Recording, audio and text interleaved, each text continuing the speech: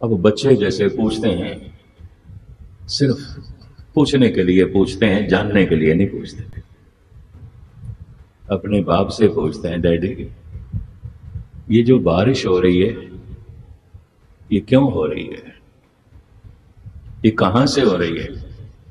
अभी बाप ने उत्तर देना है, वो बच्चा दूसरा सवाल कर लेता तो इसका मतलब है पूछने के लिए पूछ रहा है, जवाब के लिए नहीं।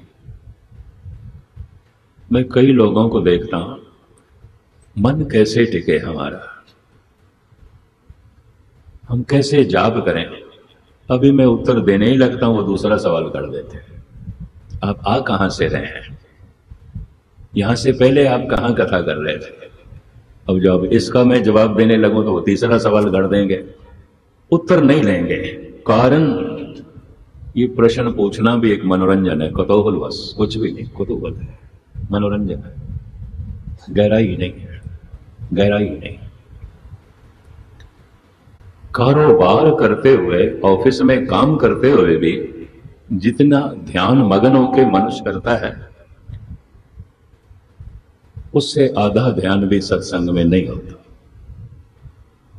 आपने देखा है, दुकान पर ग्राहक बड़े हों, बहुत से हों।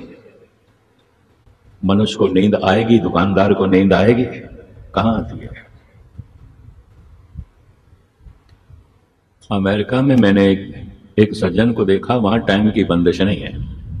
सुबह आठ बजे जाता था बारह बजे आता रात को। उससे मित्रता थी। स्वाभाविक मैंने पूछ लिया थकते नहीं हो? कहते हैं ग्राहक आ रहे हैं। जेब हमारी भर रही है। खुशी होती है थकते ही नहीं है थकते ही नहीं। अब घंटा, आध घंटा कहीं सत्संग में बैठना पड़ जाए तो ऊँगने लगते हैं। यूँ गिरते हैं? इधर गिरते हैं। कारण?